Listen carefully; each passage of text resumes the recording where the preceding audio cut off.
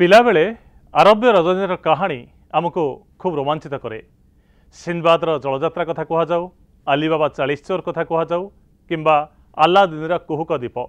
এই ଗପଗୁଡ଼ିକ ଶୁଣିବା ବେଳେ ଗପଗୁଡ଼ିକ ପଢ଼ିବା ବେଳେ ଏବଂ এই ଚରିତ୍ରଗୁଡ଼ିକୁ ଆମେ ଯେତେବେଳେ ଦେଖୁ ଖୁବ୍ ରୋମାଞ୍ଚିତ ହେଉ ଖୁବ୍ ପୁଲକିତ ହେଉ ଏବଂ ବିଶେଷ କରି ଆଲ୍ଲାଦିନ ପାଖରେ କୁହୁକ ଦ୍ୱୀପ ଏବଂ ସେ ଦ୍ୱୀପକୁ ଘଷିବା ପରେ ସେଥିରୁ ବାହାରୁଥିବା ଜିନ୍ ଏବଂ ଜିନ୍ ତାର ମାଲିକ ପାଇଁ ସବୁ ଅସମ୍ଭବକୁ ସମ୍ଭବ କରିବାର କଥା ଯେତେବେଳେ ଶୁଣୁ ଖୁବ୍ ରୋମାଞ୍ଚିତ ହୋଇଥାଉ ଆମେମାନେ। କିନ୍ତୁ ଦୁଇ ହଜାର କୋଡ଼ିଏ ମସିହାରେ ଯଦି ଆଲ୍ଲାଦିନର କୁହୁକ ଦ୍ୱୀପ କଥା କେହି କହିବ ଆମକୁ ଦେଖେଇବ ଆମେ କ'ଣ ବିଶ୍ୱାସ କରିବା? ବିଜ୍ଞାନର ଅଗ୍ରଗତି ଯେତେବେଳେ ହେଇଛି ସେତେବେଳେ ହଜାର ହଜାର ବର୍ଷ ତଳର ପୁରୁଣା କାହାଣୀଗୁଡ଼ିକ ଯେ ବାସ୍ତବ ରୂପ ନେବ ଏକଥା କେହି କେବେ ବିଶ୍ୱାସ କରିବେନି। କିନ୍ତୁ ଯଦି କେହି ବିଶ୍ୱାସ କରେ ତାହେଲେ ସେ ହଇରାଣ ହେବ ଫସିବ ଏକଥା କୁହାଯାଇପାରେ। ଆମେ ଏତେ କଥା ଆପଣଙ୍କୁ ଏଥିପାଇଁ କହୁଛୁ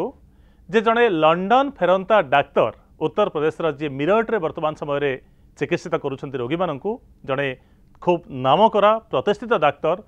ସେ ଆଲ୍ଲାଦିନର କୁହୁକ ଦୀପ କିଣିବା ପାଇଁ ଯାଇ ଫସି ଯାଇଛନ୍ତି ଏବଂ ଅଢ଼େଇ କୋଟି ଟଙ୍କା ମଧ୍ୟ ଦେଇସାରିଛନ୍ତି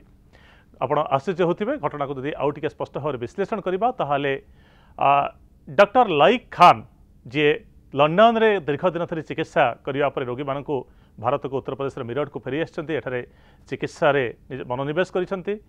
ସମୀରା ନାମକ ଜଣେ ଯୁବତୀ ଦୁଇହଜାର ଅଠର ମସିହାରୁ ତାଙ୍କ ପାଖକୁ ଲଗାତାର ଭାବରେ ଆସୁଥିଲେ ଏବଂ ବାରମ୍ବାର ସ୍ୱାସ୍ଥ୍ୟ ପରୀକ୍ଷା କରିବା ଆଳରେ ସମୀରାଙ୍କ ସହିତ ଡାକ୍ତରଙ୍କର ବନ୍ଧୁତା ହୋଇଥିଲା ଏବଂ ସମୀରା ଜଣେ ତାନ୍ତ୍ରିକଙ୍କୁ ଭେଟେଇଥିଲେ ଡାକ୍ତର ଲାଇକ୍ ଖାନ୍ଙ୍କୁ। ଏହି ତାନ୍ତ୍ରିକ ଜଣକ ନିଜେ ତନ୍ତ୍ରମନ୍ତ୍ର বা স্বতন্ত্র শক্তির অধিকারী বলে ডাক্তার মনে বিশ্বাস জন্মাইলে এবং কে যে এক ঘটনাক্রমে দীর্ঘ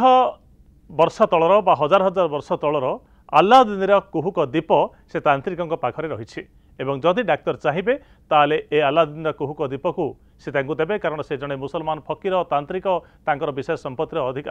ଆବଶ୍ୟକତା ନାହିଁ। କିନ୍ତୁ ଡାକ୍ତର ଯଦି ଚାହିଁବେ ତାହେଲେ ସବୁ ଅସମ୍ଭବ ସମ୍ଭବ କରିପାରିବେ ଏବଂ ଏହି କୁହୁକ ଦ୍ୱୀପଟିକୁ ସେ ଡାକ୍ତରଙ୍କୁ ଦେବେ। ଏବଂ ଏପରିକି ସେ ଡାକ୍ତରଙ୍କୁ ସେ ଦ୍ୱୀପଟିକୁ ଦେଖେଇଛନ୍ତି ଏବଂ କୁହୁକ ଦ୍ୱୀପରେ ଏକ ଜିନ୍ ରହିଥିବାର প্রহেলিকা সৃষ্টি করে তাঁকু মধ্যে দেখাইছেন কিন্তু ডাক্তার যেতবে দীপটি হাতের ধরিয়া চাইছেন বা দীপটি ঘষিলা পরে জিন আবির্ভাব হব তাকে দেখা চাইছেন সে কিন্তু মনা করেছে যে তার খারাপ প্রভাব পড়ব আপনার প্রথমে মালিক হওয়া দরকার এবং মালিক হওয়া হলে অঢ়াই কোটি টাকা দেওয়া দরকার তো ডাক্তার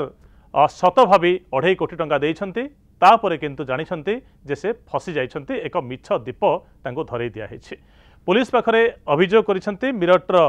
খৈরনগর নিকটে থাকা ବ୍ରାହ୍ମପୁରୀ ପୋଲିସ ଷ୍ଟେସନରେ ଅଭିଯୋଗ କଲାପରେ ପୋଲିସ ଏ ଘଟଣାକୁ ନେଇ ଆଶ୍ଚର୍ଯ୍ୟ ହୋଇଛି ଚକିତ ହୋଇଛି ଏବଂ ଖୋଳତାଡ଼ ଆରମ୍ଭ କରିଛି ଯେ ଯିଏ ବିଜ୍ଞାନରେ ବିଶ୍ୱାସ କରନ୍ତି ଡାକ୍ତରୀ ପାଠ ପଢ଼ିଛନ୍ତି ସେ ଗୋଟିଏ କୁହୁକ ଦ୍ୱୀପ ଆଲାଦିନର କୁହୁକ ଦ୍ୱୀପକୁ କେମିତି ବିଶ୍ୱାସ କଲେ ଜିନ୍କୁ କେମିତି ବିଶ୍ୱାସ କଲେ ତାକୁ ନେଇ ଡକ୍ଟରଙ୍କୁ ପ୍ରଶ୍ନ କଲାପରେ ଡକ୍ଟର ଲଜ୍ଜିତ ହୋଇଛନ୍ତି ସତ। କିନ୍ତୁ ତାପରେ ପରବର୍ତ୍ତୀ ପର୍ଯ୍ୟାୟରେ ଡାକ୍ତରଙ୍କର ଯେଉଁ ତାନ୍ତ୍ରିକ ବିଷୟରେ କହିଥିଲେ ତାର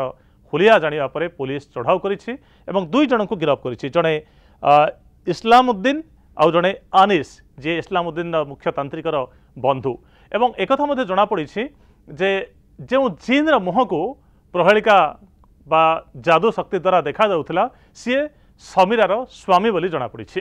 ତେଣୁ ଡାକ୍ତରଙ୍କର ହୋସ୍ ଉଡ଼ିଯାଇଛି ଅଢ଼େଇ କୋଟି ଟଙ୍କା ଚାଲିଯାଇଛି ନିନ୍ଦା ଅପବାଦ ଆସିଛି ଯିଏ ଶୁଣୁଛି ଡାକ୍ତରଙ୍କ କଥା ସେମାନେ ହସୁଛନ୍ତି ବର୍ତ୍ତମାନ ସମୟରେ ତାରି ଭିତରେ ପୁଲିସ ସମୀରାକୁ ଖୋଜୁଛି। କିନ୍ତୁ ବିଡ଼ମ୍ବନାର କଥା ଯେ ଅନ୍ଧବିଶ୍ୱାସର ଅନ୍ଧଗଳିରୁ ମନୁଷ୍ୟ ମୁକୁଳିବା ପାଇଁ ଆମେ ବିଭିନ୍ନ ପ୍ରକାର କଥା କହୁଛେ କିନ୍ତୁ ଲଣ୍ଡନ ଫେରନ୍ତା ଜଣେ ଡାକ୍ତର ଆଲାଉଦ୍ଦିନର କୁହୁକ ଦ୍ୱୀପର ଲୋଭରେ ମୋହରେ ପଡ଼ିବା ଅଢ଼େଇ କୋଟି ଟଙ୍କା ଦେବା ବର୍ତ୍ତମାନ ସମୟରେ ଖୁବ୍ ରୋଚକ ଖବର ତିଆରି କରିଛି